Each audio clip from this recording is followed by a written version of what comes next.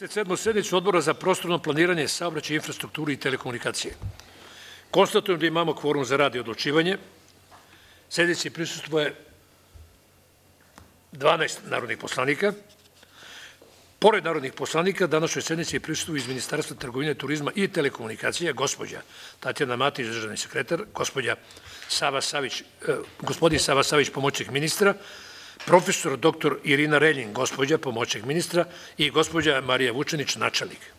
Pozivam sve prisutne, pre svega naše goste i prelazimo, prelazimo na utvrđenje dnevnog reda. Izvinjavam se, to gasio. Tačka 1.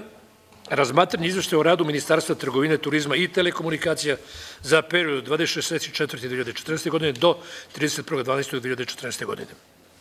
Druga tačka razno. Da li se slažete s predloženim dnevnim redom? Pritisni mene tu. Slažemo se.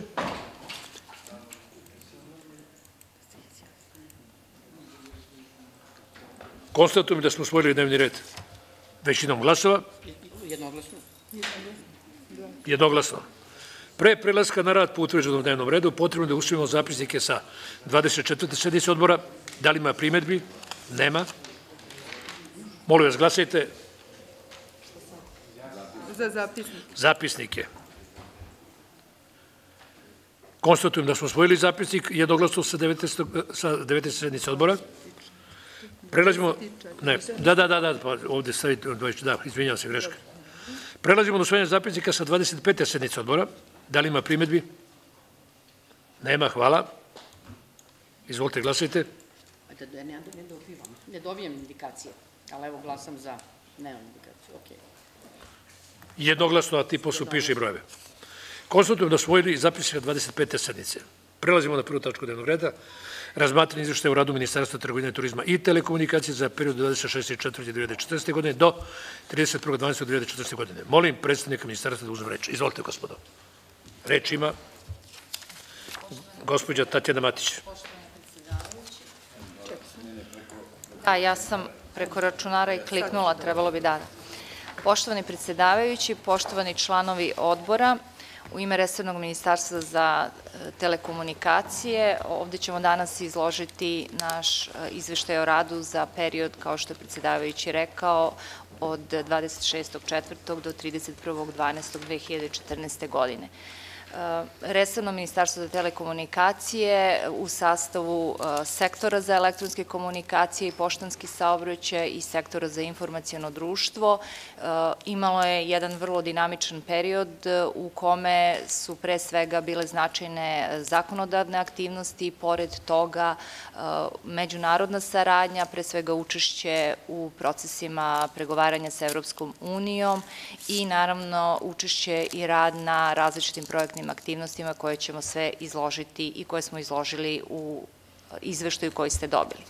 Kada su u pitanju akta koja su u ovom periodu usvojena, pre svega najznačajnije je svakako izmena, zakon o izmenama i dopunama zakona o elektronskim komunikacijama koji je Narodna skupština 13. juna 2014. godine donela, Nakon toga vlada je donela strategiju razvoja širokopojasnih mreža i servisa u Republici Srbiji do 2016. godine shodno izmenjenom zakonu gde smo predvideli između ostalog i formiranje budžetskog fonda za razvoj telekomunikacija, odnosno unapređenje i razvoj u oblasti elektronskih komunikacija i informacijonog društva. Shodno, dakle, tim izmenama zakona vlada je donela i odluku o formiranju ovog budžetskog fonda.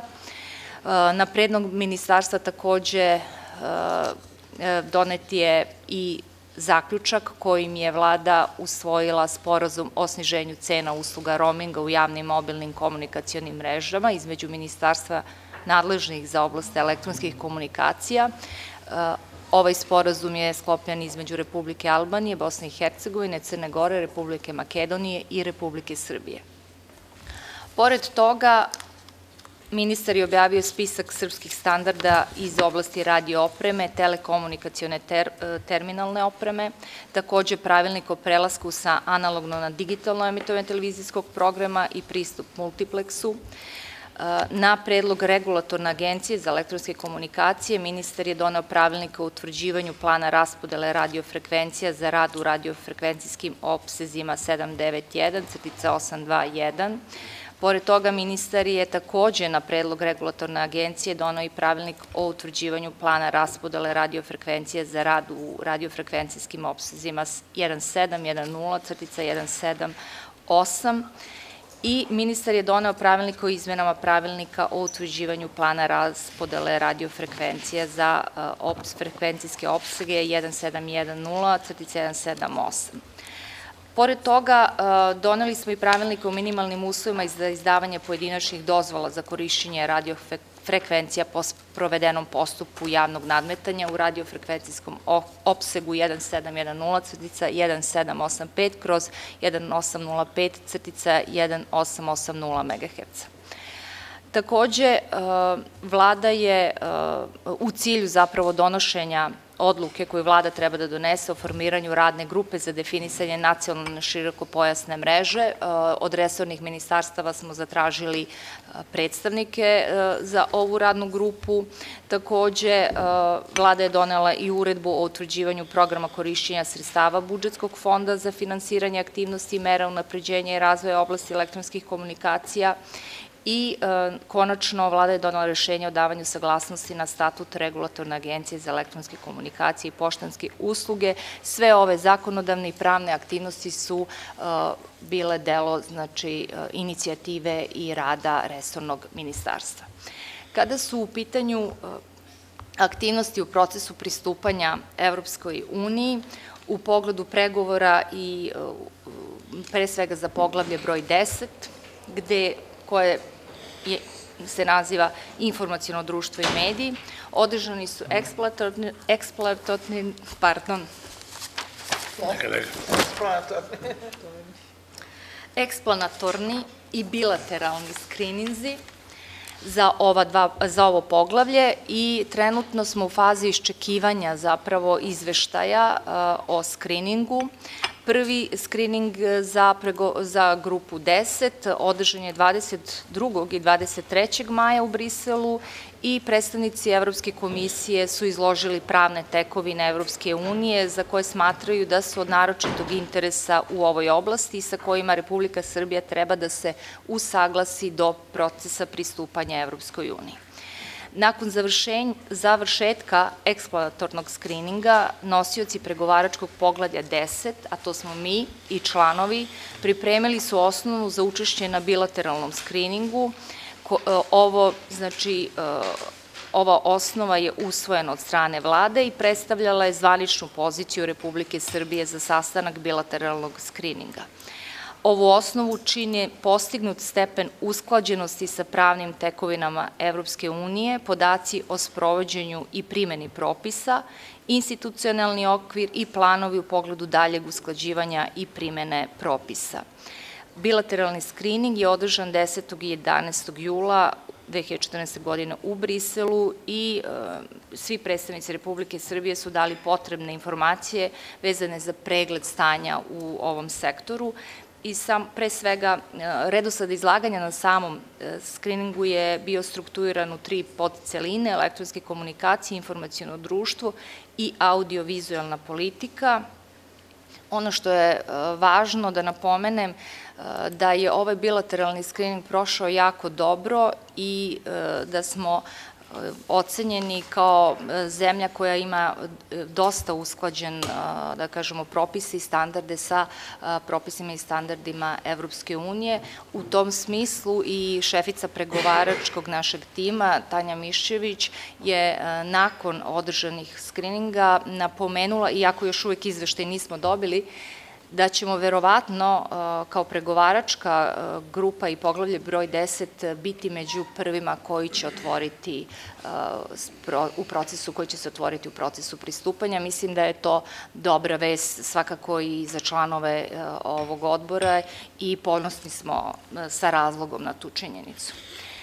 Naravno, predstavnici ministarstva učestvuju, pre svega kad su u pitanju telekomunikacije, učestvuju i u radu drugih grupa, pre svega slobodno, kad je u pitanju pregovaračka grupa 1, slobodno kretanje roba, u skopu aktivnosti koje smo i tu u obavezi da preuzmemo u okviru pregovora o, pristupanju u EU. U oblasti e, slobode kretanja robe postoji preko 2000 evropskih pravnih akata i e, onaj deo koji je značajan za sektor telekomunikacija odnosi se na podgrupu 11, a to je radio oprema i telekomunikaciona terminalna oprema e, kojom rukovode e, predstavnici ministarstva. Takođe, naravno, moram da napomenem da pored ovih aktivnosti koje imamo u pregovorima sa Briselom, e, naši predstavnici aktivno učestvuju u aktivnostima u vezi pregovora sa Prištinom u oblasti elektronskih komunikacija uz posredovanje, naravno, Evropske komisije. Takođe, aktivnosti na sprovođenju sporazuma o stabilizaciji i pridruživanju su e, deo našeg e, skoro svakodnevnih aktivnosti. E, pre svega, mi smo učestvovali na sastanku pod odbora za istraživanje i inovacije, informacijono društvo i socijalnu politiku koji je održan u Briselu 7. i 8. maja 2014. godine i takođe smo učestvovali i u radu pod odbora za unutrašnje tržište i konkurenciju koji je održan u Beogradu 29. aprila. E, pored toga, e, aktivno uzimamo učešće i učestvujemo u izradi priloga za e, sve sastanke pod odbora za trgovinu, industriju, carine i oporezivanje, koji je inače održan 30. juna 2014. u Briselu teme koje su bile na glavne, da kažemo, u fokusu ovog pododbora su trgovina, oporazivanje, carine, mala i srednja preduzeća, industrijska politika i sloboda kretanja roba. Na pomenutom sastanku predstavnici odeljenja su odgovarali pre svega na pitanja predstavnika Evropske komisije, to jest na žalbe Evropske komisije u vezi sa zahtevima za sertifikaciju, propisanim od strane RATELA za uvoz određene opreme koja spada u oblast regulisanja EU RTT direktive. Pored ovih aktivnosti, naravno, e, u saradnji sa ostalim e, članovima pregovaračkog pogleda 10, pripremljen je predlog za oblast za nacionalni program za usvajanje pravnih tekovina EU u periodu 2014. do 2018. Ovaj dokument sadrži projekciju u pogledu usklađivanja zakonodavstva sa pravnim tekovinama EU, i detaljnu projekciju za 2014. i okvirnu projekciju do 2018. godine. Takođe mi učestvujemo i u pripremi priloga e, za pregovaračku grupu 1, Slobodan protok robe i pregovaračku grupu 21, Transevropske mreže.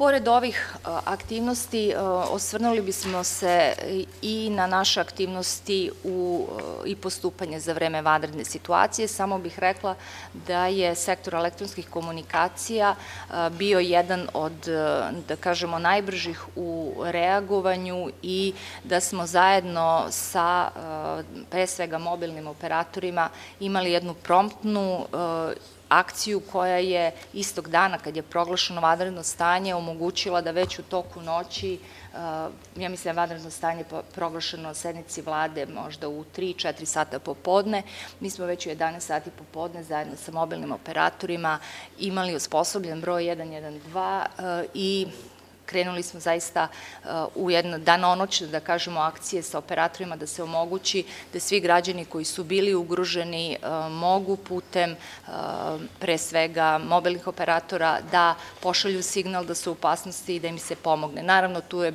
u saradnji pre svega, rekla bih, sa našim snagama iz MUPA, takođe i sa predstavnicima BIE i vojske, uspešno e, smo omogućavali da se bazne stanice i sva druga vrsta e, telekomunikacijne opreme koja je bila neophodna za prenos signala e, do naših građana da funkcioniše i da se omogući da ovaj zapravo jedan sistem ljudima omogući zaista da, da budu spašeni, da im se pomogne, da se jave.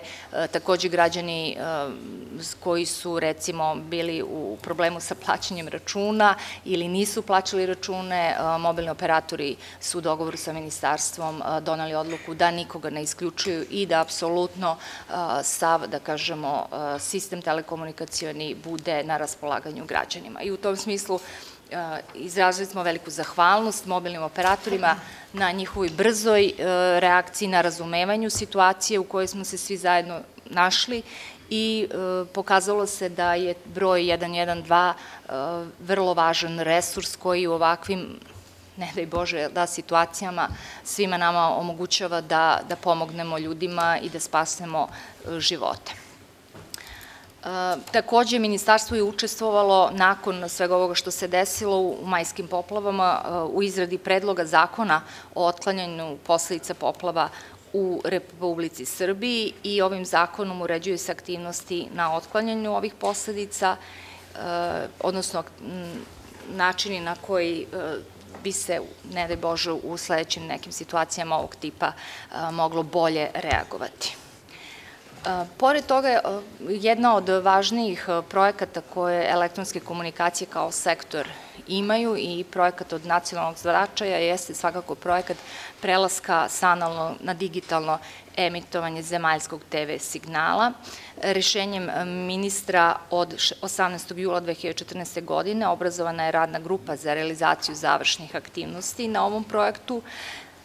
U ovu radnu grupu su imenovani predstavnici našeg ministarstva, regulatorne agencije za elektronske komunikacije, poštanske usluge, javno preduzeće, emisijona tehnika i veze, Ministarstvo kulture, RRA, Ministarstvo financija, RTS i RTV Vojvodina. Verovatno ste svi već upoznati da je Republika Srbija na osnovu međunarodnog sporazuma koji je potpisan još davne 2006. godine u Ženevi se obavezala da će preći na digitalni signal emitovanja televizije do 17. juna 2015. godine, već nekoliko puta u poslednjih devet godina ovaj proces je nažalost pomeran i mi smo prošle godine, dakle, od 18. jula ovim rešenjem definitivno krenuli u završne aktivnosti na realizaciji projekta, jer jasno je da da je rok, rok se približava, 17. jun je tu i naša ne samo međunarodna obaveza, nego i obaveza koju imamo pre svega prema našim građanima jeste da im omogućimo nesmetan prijem signala televizije. Ono što će se zapravo desiti 17. juna jeste da više svi naši susedi, zemlje koje će preći ili koje su već prešle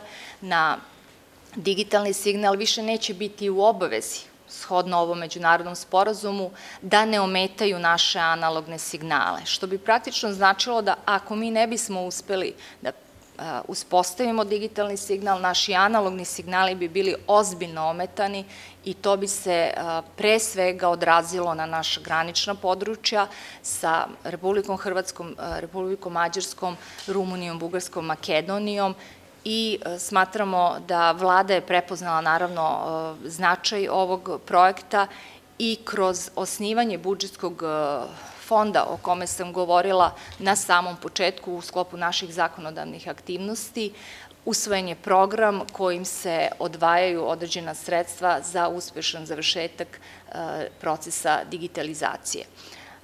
Vlada je donela između ostalog nakon donošenja odluke o formiranju budžetskog fonda i jednu uredbu kojom su definisani kriterijumi i, i načini e, pomoći ugroženim kategorijama stanovništva u ovom procesu digitalizacije.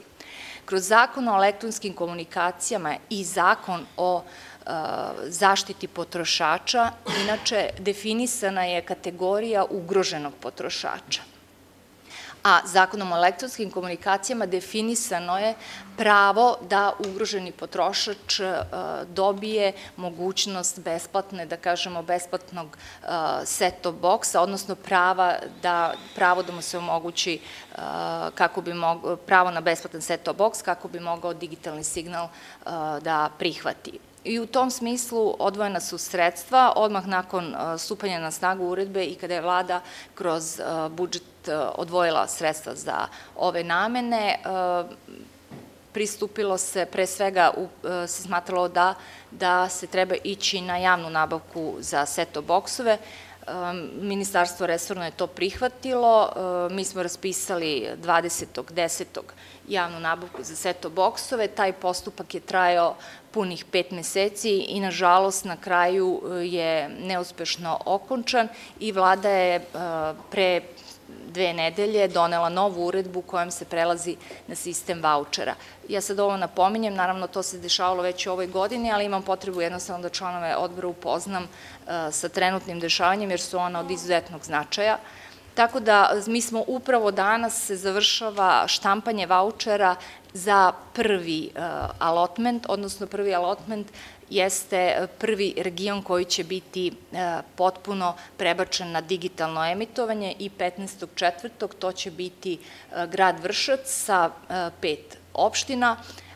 Ukupno u ovom allotmentu imamo 4,5 hiljade korisnika prava na socijalnu, da kažemo, na subvenciju, odnosno na voucher s obzirom da ima ukupno u, u ovom alotmentu 114.000 stanovnika, od kog, tog broja se pretpostavlja uh, da sigurno još nekih uh, možda 10.000 ljudi uh, će imati potrebu da kupi set-top box uređaj, odnosno da možda će neko od njih odlučiti se ne za set-top box, možda za neki novi vid te televizora koji može da prihvati novi signal, DVB-T2, je li tako?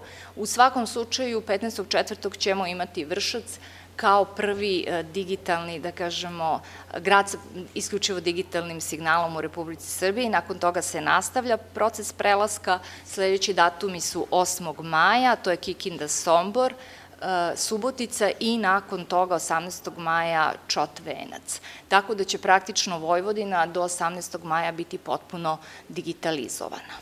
I u skladu sa planom prelaska, kasnije idemo na centralnu Srbiju i na južnu. Do 17. juna očekujemo da će čitava Srbija biti na digitalnom signalu.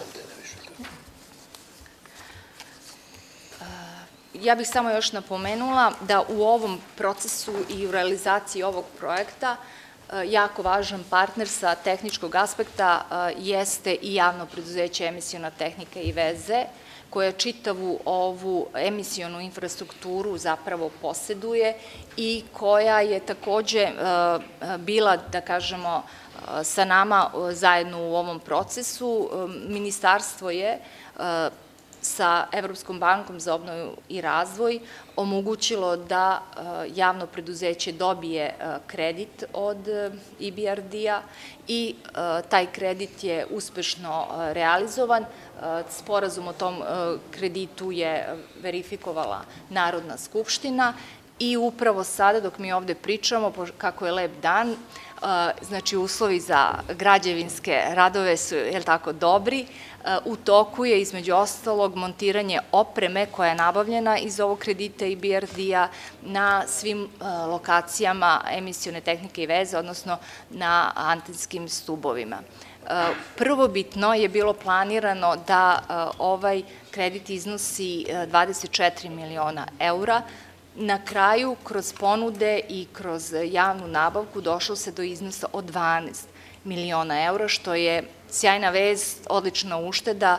Uh, u samom postupku nabavke učestvovali su dva velika učestvovala su dva velika proizvođača, tako je dva velika proizvođača Rode Schwarz iz Nemačke i uh, Ericsson, da, drugi je bio Ericsson, uh, Rode Švarc je odneo pobedu i u tom smislu nama je išlo u prilog svakako činjenica da se ti veliki giganti bore za dominaciju na tržištu e, Evrope preko nas, jer smo mi tu poentirali i dobili smo zaista više nego povoljne ovo opremu i kažem ogroman, ogromna je ušteda u budžetu kada je u pitanju projekcija ovog, za ovaj kredit.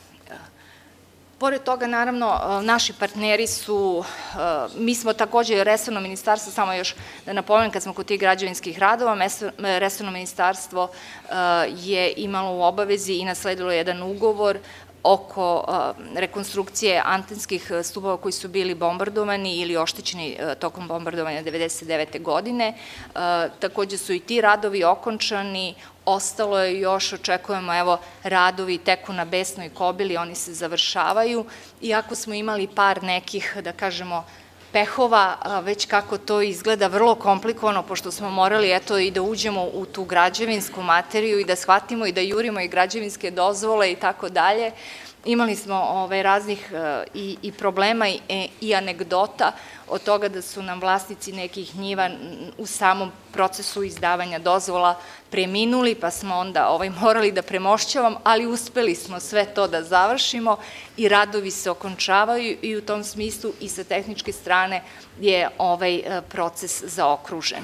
RTS je nosilac inače kampanja u procesu digitalizacije, možda ste to i primetili, oni su e, imali obavezu i izradili su određene i e, spotove.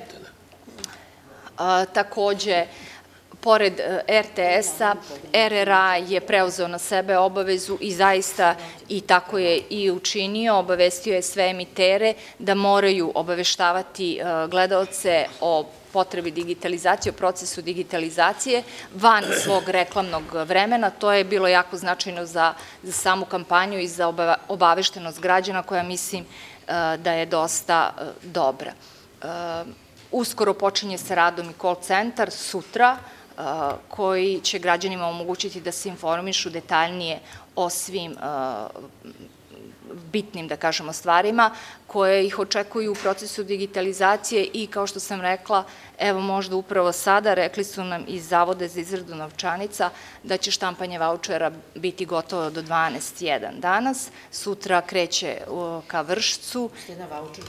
Pa eto, i mi nismo specimene dobili, Zavod za novčanice ima vrlo, da, da, da, ovaj, mi smo tražili to inače, ali oni imaju vrlo stroge procedure, specimene vrlo teško izdaju, to morate da potpisujete i tako dalje. Mi smo se, ovaj, samo jedna napomenak, kod izrade novčanica, jako smo vodili računa o tome da, e, novčanica, pardon, vouchera, da oni budu zaštićeni.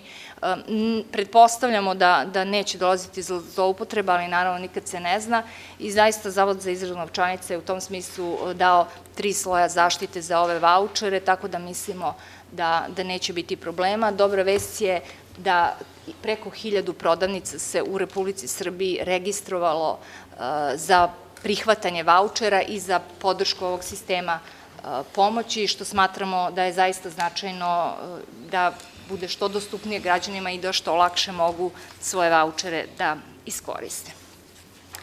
Pored toga još ja sam napomenula šta je najznačajniji projekat, napomenula bih da elektronske komunikacije imaju vrlo dobru saradnju sa pre svega nekoliko naravno zemalja na projektnim aktivnostima. Republika Koreja je jedna od tih zemalja sa kojom uspešno sarađujemo.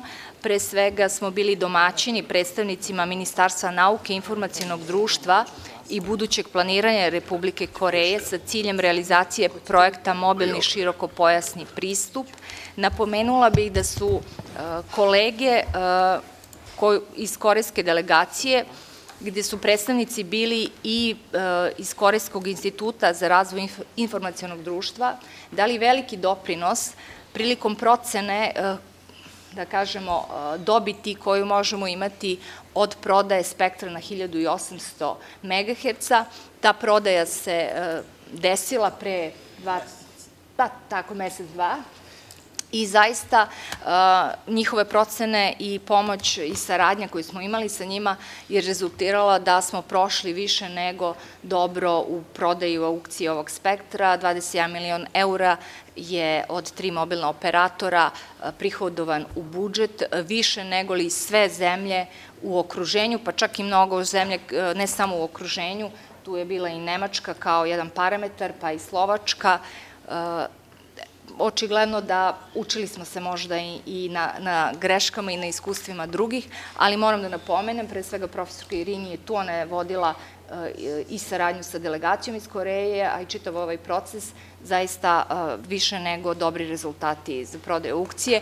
Između ostalog, značaj digitalizacije, jedan od većih možda značaja jeste u tome da ćemo nakon uspešnog prelaska na digitalni signal osloboditi analogni spektar i da ćemo moći takođe da ga ponudimo na prodaju. Procene su da od, od recimo 75 do 100 miliona eura, to je minimum koliko možemo dobiti. Mi, mi verujemo čak da možemo dobiti i više, jer primećujemo da postoji ogromna zainteresovanost kod mobilnih operatora za ovaj spektar. Naravno, pored, pored e, Republike Koreje, e, sa Narodnom republikom Kinom imamo saradnju sa njihovim e, kompanijama kao što je ZTE i Huawei.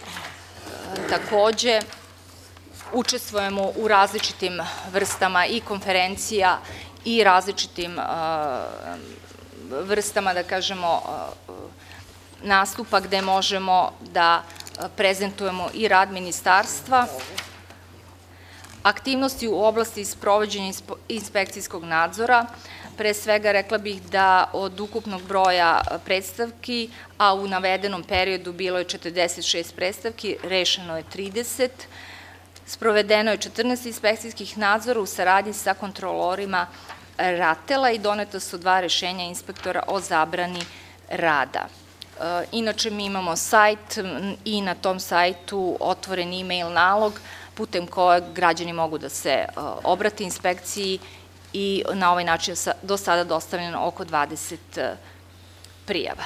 Kad je u pitanju poštanski saobraćaj, napomenula ih da smo imali izmene eh, zakona o poštanskim uslugama, eh, takođe zakon o potvrđivanju akata Svetskog poštanskog saveza, pravilnik o izmenama i dopunama pravilnika o utvrđivanju plana izdavanja prigodnih poštanskih marki i vrednostnica i naravno naša saradnja sa javnim preduzećem Pošta Srbije Eh, oko njihovih osnovnih akata, eh, njihovih eh, strategija, programa poslovanja, je na svakodnevnom nivou i zaključili smo i učestvovali smo zapravo u pregovorima u vezi zaključivanja kolektivnog ugovora za javno preduzeće i taj kolektivni ugovor je potpisan i završen. Učestvujemo i u nekim međunarodnim projektima kao što je projekat PLAK 3, u vezi sa poštanskim saobraćajem, tu je i ta ekspertska misija,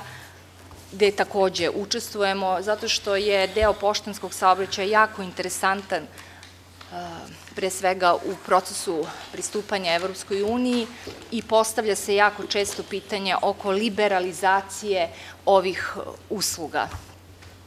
To pitanje postavljaju i u Briselu vrlo često, postavlja se i ovde kod nas. To pitanje se odnosi na rezervisane pošiljke i na to e, da li je taj e, da kažemo, pravni okvir održiv i koliko će biti održiv. Mi svakako e, smo svesni e, da se mora e, na neki način otvoriti još više i liberalizovati to tržište, ali sa druge strane to je jedna politička odluka koju mora doneti vlada imajući u vidu značaj ovog javnog preduzeća i njegovu dobit koju, koja se uplaćuje u budžet i koju država naravno ima od njega. U svakom slučaju mi ćemo biti u obavezi, radimo već na izmenama zakona, a svakako do 2020. ćemo biti u obavezi sigurno do znači trenutka pristupanja EU da maksimalno liberalizujemo ovo tržište, da, i, da težinu zapravo za samo rezervisanu pošiljku smanjimo, pa vidjet ćemo, to je, kažem, još jedna isto politička odluka. A može, mi volimo sve. Nemoj, nemoj da brzaš, molim te. Pa valjda je dobro da se nešto radi. Nemoj da si nervozan, pa I evo, na kraju, Samo i nas dajte. Oko informacijonog sektora za informacijono društvo, ja sam mislila da ćete pitati nešto oko rezervisane pošiljke i ovaj, gramaže. Vodite računa on kad pita, onda je to lopast. Pa pitao, pitao, ja sam bila i na odboru drugom, ovaj, gde nije bilo... Pa ja vidim da među vama ima neki, neke hemije.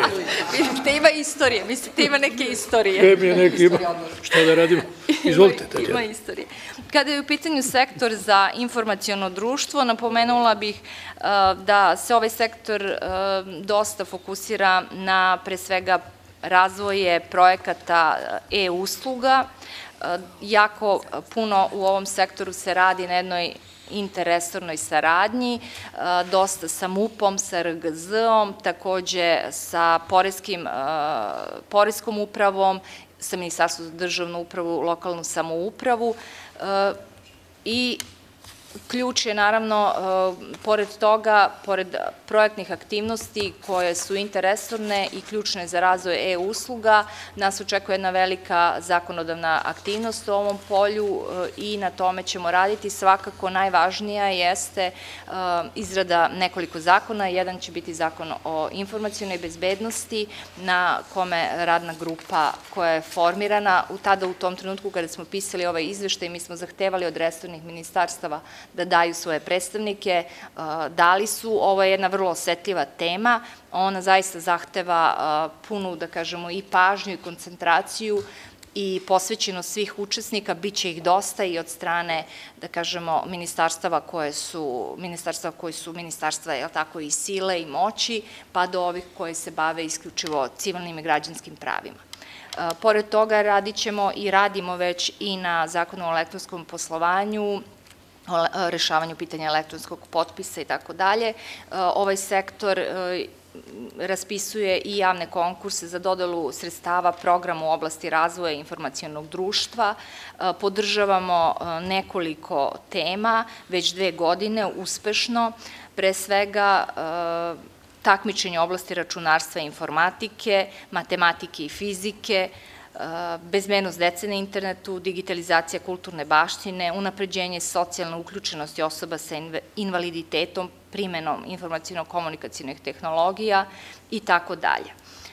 Jedan od važnijih projekata na kojima kolege rade jeste realizacija projekta e-business development koji je finansiran od strane Evropske unije, Takođe, fokusirani smo na e, centralizaciju elektronskih usluga državnih organa. Ovo je jedan veliki i ozbiljan e, projekat, e, takođe interesorni. Naravno, uvek uzimamo učešće i realizujemo aktivnosti u okviru Evropske nedelje programiranja. Informacijono društvo kao sektor je učestvovalo u bilateralnom skriningu za poglavlje 10, informacijono društvo i mediji. Takođe, u aprilu e, izvršili smo akreditaciju i smart sistema e, CA, sertifikovanog tela za izdavanje kvalifikovanih elektronskih sertifikata i u skladu sa tim izvršili upis u registar sertifikacijonih tela za izdavanje kvalifikovanih elektronskih sertifikata u Republici Srbiji.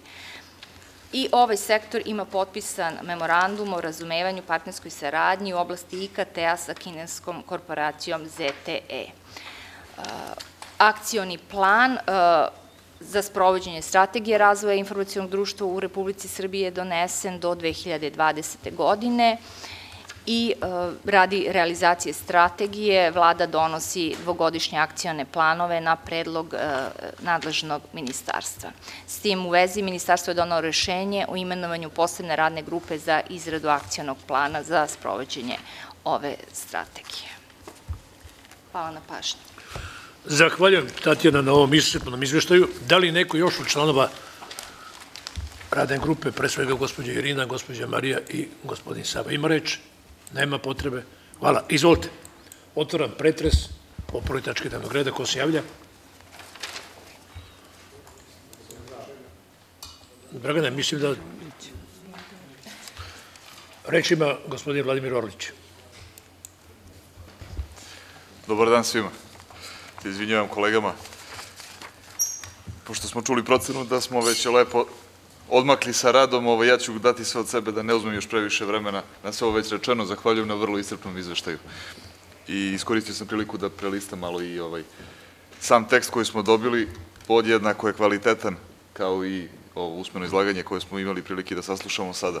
Ja bih se zahvalio pre svega na sjajnoj saradnji koju mi kao odbor imamo sa vama iz ministarstva, između ostalog pišemo vam često i na temu onih aktivnosti zbog kojih se građani obraćaju nama kao odboru i u tom smislu zahvaljujem na više nego sjajnom odzivu koji dobijemo svaki put. Ja sam pribeležio sa strane par pitanja na koje možemo i ne moramo da previše ovaj, razgovaramo danas, ali nešto što bi bilo interesantno, pa, pa ako se tako dogovorimo možemo i da razmenimo neki materijal na tu temu ili da se vidimo i još neki put. To nikad nije loše. E, To je prava prvo pitanje, stvar. Da. Prvo pitanje se tiče radne grupe koju ste pomenuli za definisanje nacionalne širokopojasne mreže.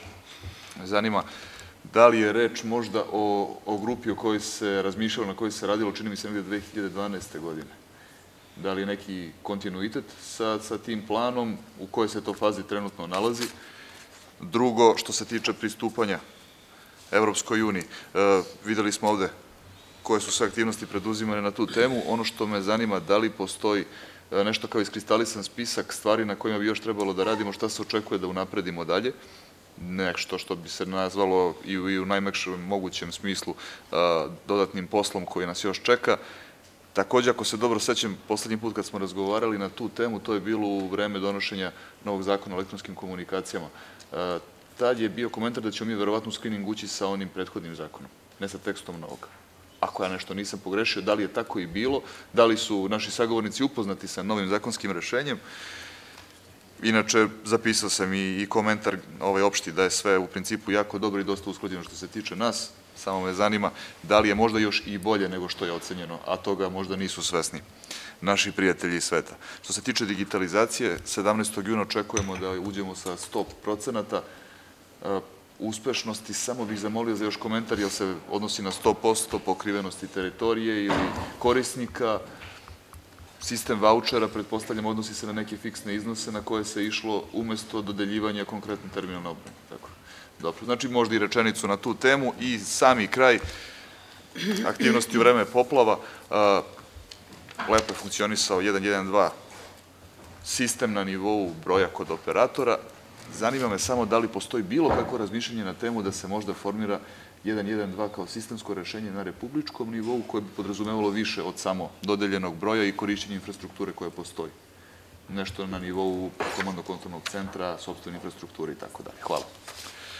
Hvala Vlado, reč ima gospođa Tatjana, izvolite Tatjana.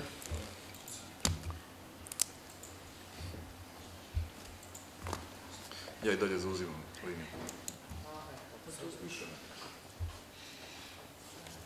Najlepše na o, ovim pitanjima. Pitanja su, da kažemo, prava, pomažu nam da upotpunimo ovo naše izlaganje i da pojasnimo još neke da, neke, da kažemo, od, od važnijih tema. Ja ću odgovoriti na tri, prepustit ću sve što se tiče pregovaranja sa EU profesorke, ona tu dominira, mada dominira i u drugim temama, ali eto ja sad imam reč pa, pa ću odgovoriti. Na prvo pitanje, kad, kada govorimo o radnoj grupi, da, to je, to je radna grupa o kojoj jeste bilo reči još 2012. godine, kada je u pitanju faza u kojoj se nalazimo, od svih resornih ministarstva smo dobili članove, ostalo je Ministarstvo privrede i Ministarstvo financija da delegira, mi smo pre bukvalno par dana poslali urgenciju i ja iskreno očekujem da ćemo mi imati formiranu radnu grupu nakon Uskrsa i da ćemo početi sa radom. Znači, u pitanju je kontinuitet ideja koja je tada postojala, umeđu vremenu, eto, čekali smo da kolege iz resornih ministarstva delegiraju svoje predstavnike kako bismo mogli da nastavimo, da započnemo zapravo sa radom i da nastavimo uh, realizaciju te ideje. Jasno je da nakon procesa digitalizacije uh, mi ćemo imati jako puno posla kada je u pitanju razvoj širokopojasnih mreža, odnosno broadbenda i to je da kažemo, jedna od većih projekata nakon digitalizacije koji nas čeka. Potrebna nam je ova radna grupa koja će u punom kapacitetu, inače tražili smo da predstavnici u ovoj radnoj grupi budu na nivou državnih sekretara. Zašto na nivou državnih sekretara? Mi znamo da je to dosta zahtevno kada tražite tako visok nivo, ali upravo zbog važnosti ovog projekta i zbog odluka koje ova radna grupa treba da donese, a koji će kasnije uticati, tako, i na, na dalje neke aktivnosti.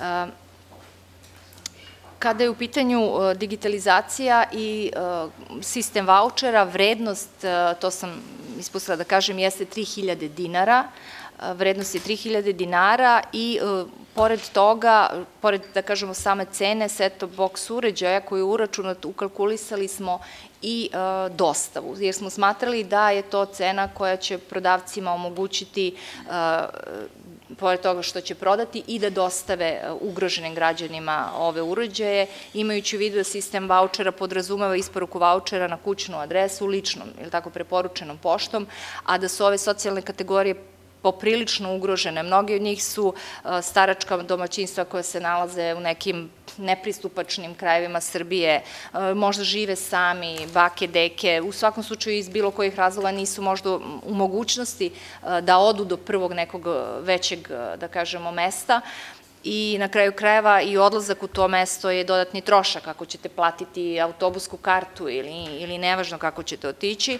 Tako da smo mi zahtevali od trgovaca i oni su se i obavezali da će u ovu cenu ukalkulisati i dostavu na kućnu adresu. Mi verujemo da će to u mnogome pomoći građanima da lakše zapravo dođu do tih seto boksova, da ne moraju baš da idu svi u, u prodavnice. Inače, eh, kada ste me pitali za procenat mi smo u obavezi, sada trenutno u ovom, danas, sa ovim danom, 93% stanovništva Republike Srbije je već prekriveno, odnosno pokriva digitalni signal. Od septembra 2014. godine istovremeno traje emitovanje i analognog i digitalnog signala, takozvani simulcast. I praktično od 15.4. sa vršcem počinje isključivanje tih analognih. Znači, 93% je u ovom trenutku pokrivenost. Po zakonu mi smo, u, i to je inače standard i, i u Evropi i u svetu, 95% stanovništva da pokrijete sa digitalnim signalom, jer je pretpostavka da onih 5% se nalaze u nekim nepristupačnim krajevima, u, u prosto lokacijski ne može ih pokriti signal emitovanja, nego je to možda moguće nekim satelitskim ili drugim antenama. Znači, naša zakonska obaveza jeste 95% pokrivenosti signala stanovništvom. E, ja bih samo rad, reda, da kažemo, radi, odnosno poređenja radi napomenula da kada je u pitanju analogni signal, mi smo došli do, do jednog interesantnog podatka pomalo možda i, i začuđujućeg i neverovatnog da je analognim signalom u Republici Srbiji samo 62% komercijalnih i 80% javnih servisa. Bilo pokriveno. Znači, to, to je, ovo je značajno veća pokrivenost, značajno veća i mi, mi verujemo da, da će građani, naravno, sve se smene činjenice da sad u ovom trenutku kada kažete da vam treba set-top box ili da, je, da ljudi to doživljavaju kao jedan trošak, ali zapravo mi ćemo sada se naći u jednoj situaciji da svi naši građani koji su zbog toga što nisu mogli da prihvataju analogni signal bili prinuđeni da idu na neke kablovske ili satelitske platforme, sada će zapravo moći da prihvate digitalni signal besplatno i besplatno da imaju mogućnost gledanja minimum sigurno u prvom multiplexu 13 a, kanala. Znači, naša zakonska obaveza jeste pokrivenost 95%, u ovom trenutku je 93% a mi verujemo da će čak e, imati, da ćemo imati i veću pokrivenost. E, pokrivenost signala u mnogome zavisi od, e, da kažemo, lokacije, odnosno od nekih geografskih predispozicija. Znači, Vojvodina će sigurno biti 100% pokrivena. A već kako idemo malo ka jugu Srbije, ovaj komplikovanije. Evo, Hvala, Tatjana. Oće vi go? Da ima potrebe, nema potrebe. Mogu ja? Pa... Da, možete i vi oko jedan. Reč ima gospođa Irina Reljin.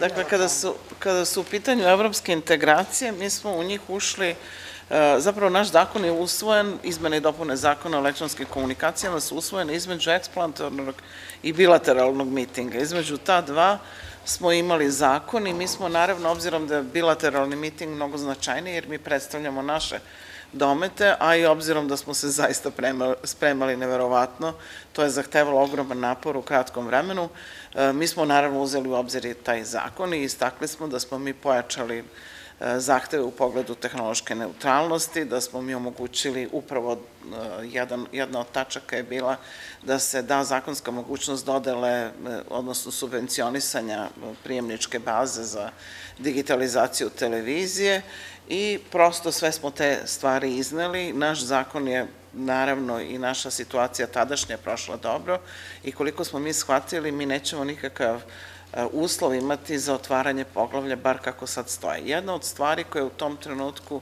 bila takođe rešena, doduše ne samo zakonskim odredbama, nego aktivnošću ministarstva i regulatorne agencije, jeste bila ukidanje doprinosa za kinematografiju, što je takođe tamo prokomentarisano vrlo pozitivno, u pozitivnom smislu i e, od nas se očekuje da e, praktično nema nikakvih prelivanja sredstava iz jedne oblasti u drugu, tako da je jedno od pitanja na tim mitinzima i na pododborima bilo da li će se, obzirom da smo mi tada spojili, sećate se, dva regulatorna tela, jedno za poštu, drugo za elektronske komunikacije, da li će se eventualno dešavati prelivanje sredstava iz ta dva, zapravo postala je bojazan da će se finansirati poštanski deo, u što smo mi njih apsolutno uverili da do toga neće doći, što je takođe pozitivno uzet u obzir. Dakle, veoma je važno za te evropske integracije da imamo potpuno čistu situaciju i da se iz e, sredstava koje su telekomunikacije ne prelivaju stvari u neke druge industrije, odnosno da se nikakve naknade ne daju i nameti ovoj našoj industriji. E, dakle, mi za sad jako dobro stojimo. Ono što nas čeka, izuzetno smo stvarno pohvaljeni, ono što nas čeka jeste, kad su elektronske komunikacije u pitanju, jeste usklađivanje sa okvirom e, Evropske unije 2009, i mi sada radimo, naši znači, zaposleni u oblasti elektronskih komunikacija pripremaju nove izmene i dopune zakona, da li će biti izmene, moguće jer po onome procentu koliko ste promenili da će se to zvati novi zakon, ako pređemo 30%, mada mislimo da možda i neće morati toliko, ali dakle u svakom slučaju mi to moramo uskladiti i onda smo potpuno usklađeni u trenutku kada budemo pristupali. Znači to nam je veoma važno. Praktično to je sad za nas, ja neću da kažem rutinski, nije lepo rutinski reći, ali to je posao koji nam je značajno lakši nego što je bilo pri donošenju prvih zakona. U tom trenutku, na, znači kada smo imali bilateralni miting, miting, naši medijski zakoni su bili na javnoj raspravi, oni nisu bili doneti, Oni su doneti tek u avgustu, tako da smo mi i kao podgrupa dobili tu podršku kasnije. Ono što nam je stavljeno kao na znanje, naravno da moramo da završimo, jeste upravo e, zakon o informacijonoj bezbednosti. Vi ste čuli naš izvašte o tome. Neki draft tog zakona, koliko ja znam, kolege su već pripremile, ali naravno to je vrlo ozbiljna materija na kojoj se mora ozbiljno i raditi, tako da očekujemo da će to biti kako treba. Dakle, za sad stvari dosta dobro stoje. Ono smo dobili komentar recimo i od stranih investitora jeste da smo mi uspeli da spektar prodamo, kao što ste čuli od naše državne sekretarke i da značajno poboljšamo naše stanje u pogledu evropskih integracija baš tu, jer se od nas traži da omogućimo nove tehnologije, nove tehnologije tehnološka neutralnost su upravo omogućeni, tako da mi zajedno sa prodajom dividende koje će se na kraju ove godine desiti, očekujemo zaista vrlo pozitivne komentare od Evropske unije i mi ćemo verovatno ući dosta dobro u to poglavlje, otvoriti poglavlje. E, kada govorimo o broju 112, to je zaista dobra vaša primetba i naravno mi sami smo svesni da e, to treba razviti u punoj meri, jer naša, pre svega MUP, je za to zadužen, kada smo se opredeljivali ko će to da razvija, moglo je možda da se nađe neko drugo rešenje. Po nama svima najlogičnije je da to MUP radi, jer to su zaista njihove nadležnosti najveće u toj oblasti. I, nažalost, tu imamo jedan problem, a to je financija, to dosta košta. U toku je javna rasprava, odnosno završena javna rasprava, ja mislim, ali je u toku priprema zakona o vanrednim situacijama, koje je, nažalost, predvideo jednu mogućnost da se finansiranje e, sve opreme, potrebne opreme i razvoja sistema 112 vrši na osnovu računa e, za telekomunikacijone usluge. Mislim da je to neka vrlo mala cifra po jednom računu, naravno u masi to bude vrlo pozitivna cifra i mi smo bili na javnoj raspravi, dali smo primetbu kao resorno ministarstvo da bi to u stvari moglo da se finansira kroz naš fond, da se sredstva eventualno dopunjuju taj fond, jer ovo je godina u kojoj naše ministarstvo zaista ogromna sredstva prinadležuje, ajde tako da kažem, i da bi možda jedan deo tih sredstava trebalo svakako odvojiti u naš fond, a da se iz tog fonda pod, naravno, ingerencijom vlade, jer plan e, trošenja sredstava fonda ovaj, donosi vlada, znači sva ministarstva će tu takođe imati ovaj, svoj udeo i naravno da će aktivno učestvovati u tome. Dakle, da se iz tog fonda možda da se deo iz dividende novca odvoji i da se tako omogući izgradnja sistema 112 i onih sistema koji su za nas važni.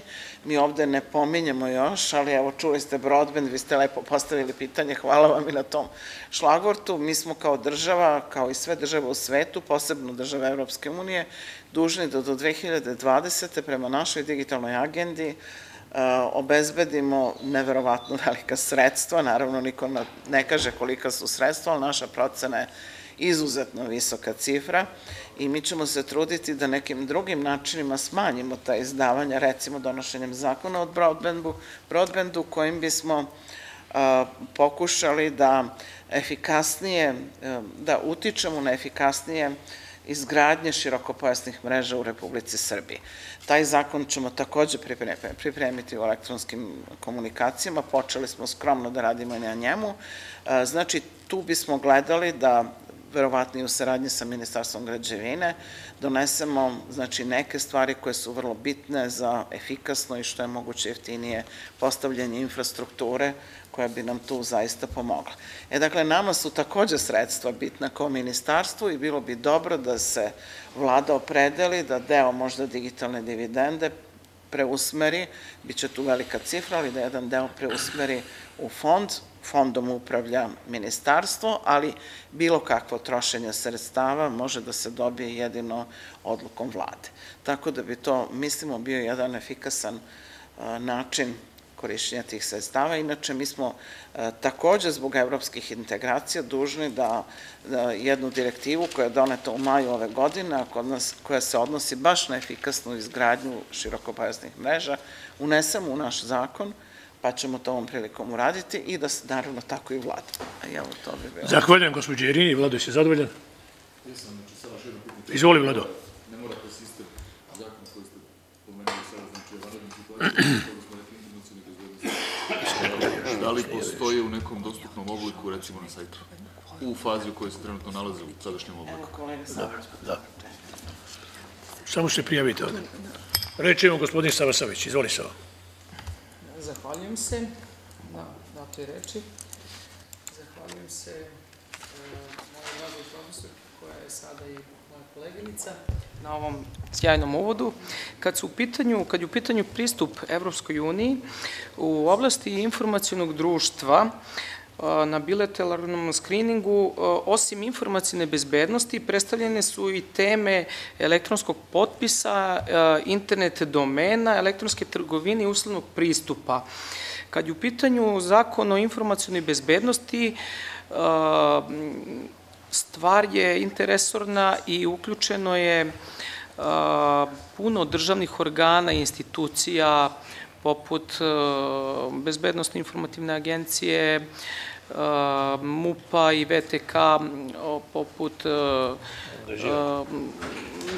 vojno-obaveštajni i ostalih, tako da mi smo sada ponovo formirali novu radnu grupu i nacrt zakona očekujem vrlo brzo da bude dostupan i na sajtu ministarstva, a i na portalu gde će biti elektronska javna rasprava.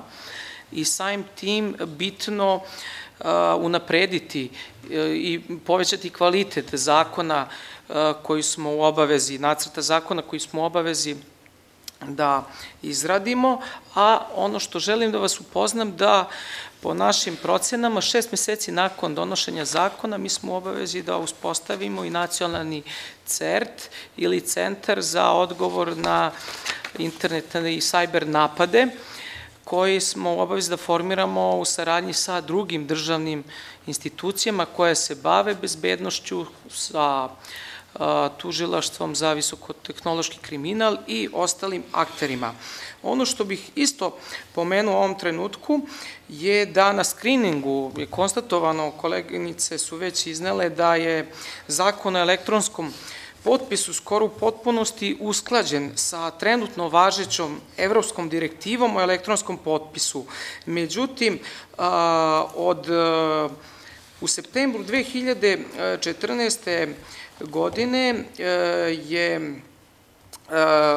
stupila na snagu e, predstojeća evropska regulativa o elektronskoj identifikaciji i uslugama od poverenja za elektronske transakcije na unutrašnjem tržištu i ona će početi da se primenjuje od 1. jula 2016. godine i zamenit će prethodnu evropsku direktivu o elektronskom potpisu. I s tim u vezi smo mi e, krenuli sa izradom zakona o elektronskom poslovanju koji će obuhvatiti postojeći zakon o elektronskom dokumentu, zakon o elektronskom potpisu, pravilnik o izdavanju vremenskog žiga, a pritom dodatno urediti oblast elektronskog identiteta, sigurne dostave elektronskih dokumenata poput elektronskih faktura i, um, ajde da kažemo, autentikaciju web sajtova i samim tim dodatno uh, urediti jedan internet uh, sveti,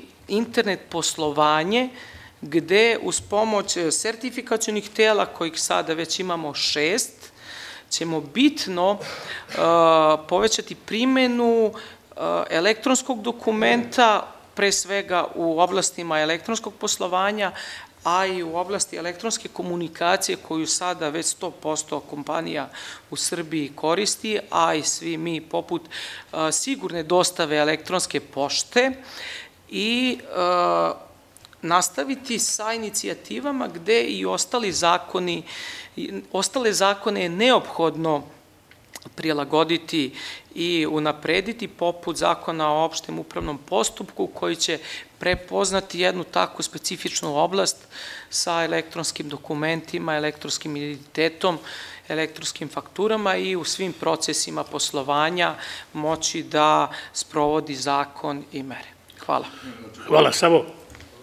Neću da uzimam dodatno. Izvoli. Znači, samo ako sam dobro razumio, tek će se objav- objaviti nacrt zakona kada je reč o informacijnoj bezbednosti. A ovaj drugi, mislim da smo u priči čuli da je već prošao javnu raspravu o vanrednim situacijama.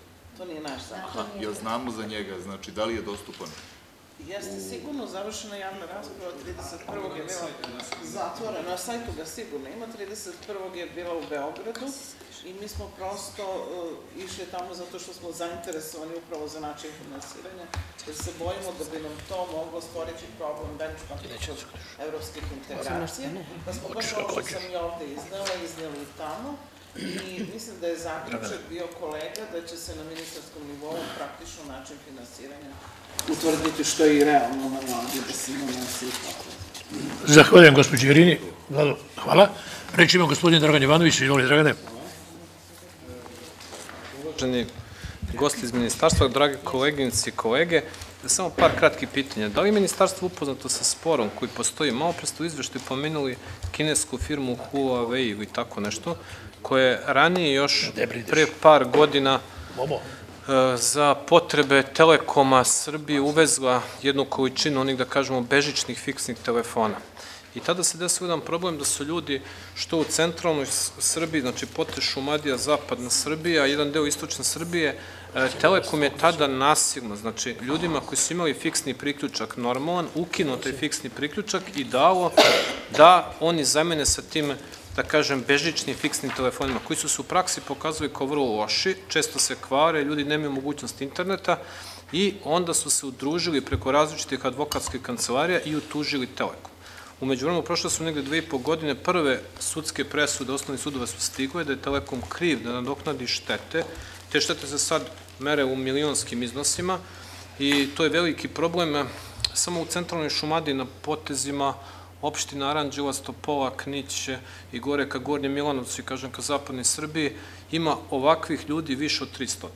I znači sada postavljam pitanje da li ministarstvo ako nije upoznato, mogli bi da se upozna sa čitavom tom problematikom i da vidimo da li se tim ljudima može na određen način, pošto sad imamo mogućnost žalbe apelacijonom sudu i sve ostalo, ali su ljudi spremni i da se odreknu čak, i tih nekih, da kažemo, i presuda, da im se normalno, znači, dovedu fiksni telefoni i da se napravi nekakav da, dogovor sa ljudima, jer e, tu je situacija stvarno bila neizdrživa, čak si bilo i tada je gospodin Vlada Vučić bio direktor jedan od direktora u Telekomu Srbije, on je sad direktor MTS-a u Crnoj Gori, već kako se to naziva dole, e, i bili su čak i fizički napadi, to je bilo stvarno, to je bilo negde potez 2008-2009. godina. Evo, to tad je prošlo određeno vreme, ali sad te, kažem, presude se donose i bilo bi dobro da se ministarstvo sa time upozna i da prosto vidite na koji način mi svi skupa možemo tim ljudima da pomognemo. A sa druge strane ćemo pomoći i državi i Telekomu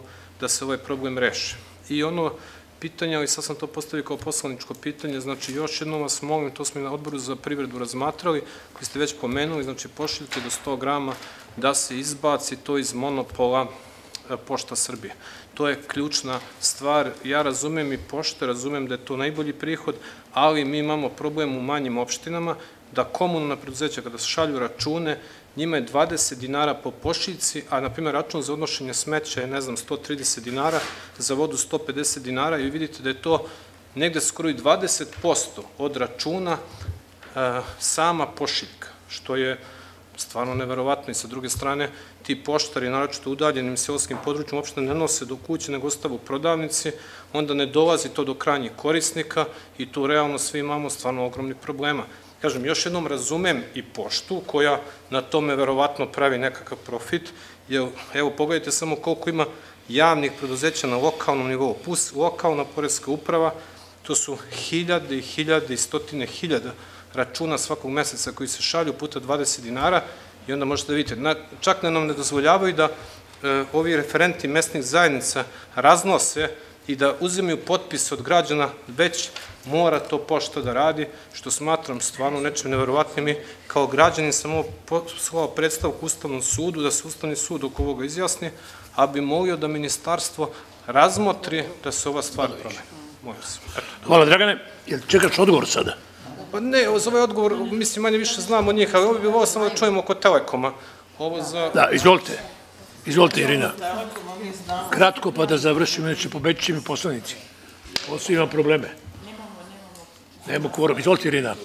Mada bi ja vas slušao do jutra. Hvala.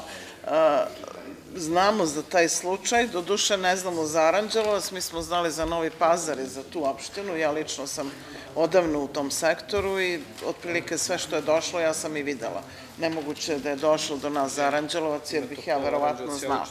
Ali znam taj slučaj za, za Novi Pazar, to je stiglo kada smo mi uveli CDMA na tom javnom konkursu su dva preduzeća dobila tu mogućnost, jedno je Orion, drugo je Telekom Srbije, oni su kupili istu opremu, oprema obzirom da je to isti opseg, pa jedino koliko mi se čini Huawei firma i mogla da im nudi te opseg, odnosno danas jedina Huawei može. Tako da pretpostavljam da imaju istu opremu i baš me čudi da nisu toliko dobri, jer imam iskustvo iz Beograda, e, Oriona, gde je to dosta dobro funkcionisalo.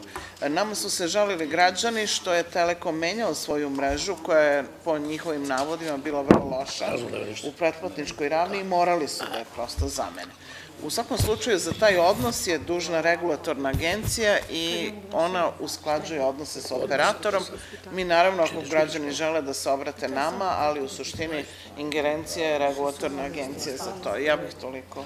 Hvala, gospođo Irina. Reč ima gospođa Branka Boščak. Izvoli, Branka. Ja ću probati nešto malo iz svoje oblasti, dosta smo iscrpno čuli sve ovo ostalo. Znači, naravno, na osnovu zakona o posredovanju u prometu i zakupu nepokretnosti, usvojeni su pravilnici, to je okej, vidim šta je procedure završeno. Mene interesuje da li ima, prvo, kad, se, kad je puna implementacija u punom kapacitetu, znači svih pravilnika, oni su doneti, pa se naravno po njima i postupa, ali Samo jedan je trenutno i on će ići uskoro, on završena je javna rasprava, i on će uskoro ići, a to je pravilnik o presretanju. Dobro, i sad me interesuje, imamo li neke rezultate i kakve su sankcije za ove postupke? Treba da, hoću, želimo da se uredi to tržište, još, ne znam, pre deset godina sam zalagala za donošenje ovog zakona, da se uredi ta, taj tr, tržište, promet, ne, ne, ne, pričamo o, promet, o, o n, prometu, e, Da, o posredovanju prometu nepokretnosti i izdavanje zakupi, to je, to je jedno, probat ću odmah oba pitanja, pa da što kraće, možete s jednom rečenicom zadovoljno će biti.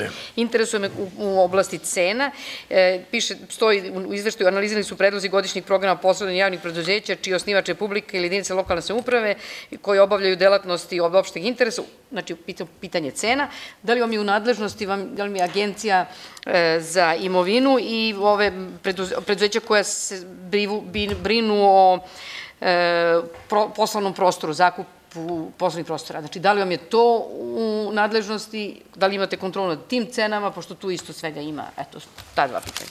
Hvala Branka, reč ima gospođa Tatjana, izvolite. Branka, nažalost, mi ovde prisutni ne možemo vam dati odgovore na ta pitanja, jer taj zakon o prometu ovaj, nepokretnosti je rađen u sektoru trgovine, tako da, nažalost, danas državna sekretarka iz oblasti trgovine i pomoćnik za normativne poslove koji su direktno bili uključeni u izradu nisu prisutni, ali mi možemo pismeno da dostavimo odgovore na ova pitanja, naravno. Tako da, izvinjavam se, mi bismo ih pozvali da, da dođu, da smo znali. Zahvaljujem gospođi Tatjani. Da li još neko od prisutnih poslanika ima želju? Hvala najlepše. Zaključujem pretres. Potrebno je da se izjasnimo. Da li prihvatamo izveštaj o radu Ministarstva trgovine, turizma i telekomunikacija za period 26.4. do 31.12.2014. godine? Molim vas, izjasnite se. Da mi omogućite glasanje. Dobro. Pa pobeglo vam malo pre vam. Pa ja Koliko je, koliko je? Smo svi Mislim da je dovoljno. Sačekajte, sačekajte. Jednoglasno Ali ako je pretpostavljam. tu, Vidite da li ima u tačku. devet. Deset. Dobro, okej. Konstatujem. Devet. Pa čekaj, ja mogu da ponavljam do jutra, nije sporno uopšte. Konstatujem da je Odbor za prostorno planiranje, saobraćaj, infrastrukturu i telekomunikacije većinom jednoglasno zaključio da prihvata izvešće o radu Ministarstva trgovine, turizma i telekomunikacija za period od 26.4. do 31.12.2014. godine. Druge tačke dnevnog reda nema razno, najlepše hvala. Zahvaljujem se damama iz ministarstva i gospodinu iz ministarstva. Pozovite se Rasima Ljajića i kažete da nam nije potreban, da vi dovoljno lepo to govorite da... Ma, beži nam sistem. Jeste završili? Jeste završili ovo? Bravo, e sad. E sada. Ček.